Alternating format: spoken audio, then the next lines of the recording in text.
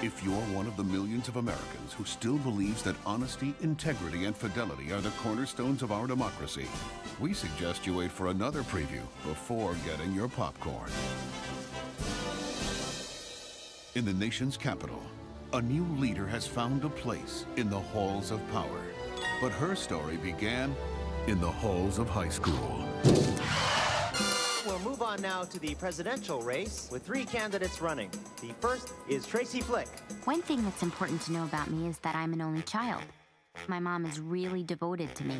She likes to write letters to successful women like Elizabeth Dole and Connie Chung and ask them what advice do they have for me, Tracy, her daughter. The next candidate for student body president is Paul Metzler. I just don't think somebody would do something like that on purpose. I think you did it. And if you want to keep questioning me like this, I won't continue without my attorney present.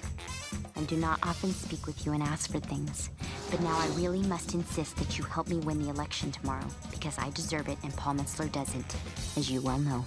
The final candidate, sophomore Tammy Metzler. I'm attracted to the person. It's just that all the people I've ever been attracted to happen to be girls. You should stop her. She's not qualified. We can't both run, can we? I mean, we're brother and sister. Can we? Tracy and I are totally in love. In love? Yeah.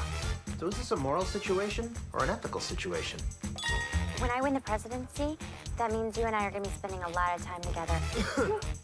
Cast your vote for Tracy Flick next week. You won't just be voting for me. You'll be voting for yourself. Who knew how high she would climb in life? I had to stop her. Excuse me! Will you please be quiet? Now. Paramount Pictures presents an MTV Films production Order! Order! starring Matthew Broderick, oh. Reese Witherspoon, Hey, what happened to your eye? What happened to your eye? Are you okay, Mr. McAllister? I'm fine. on the road to greatness. Never underestimate an overachiever. Looks like you could use a cupcake. Election. Cast your vote.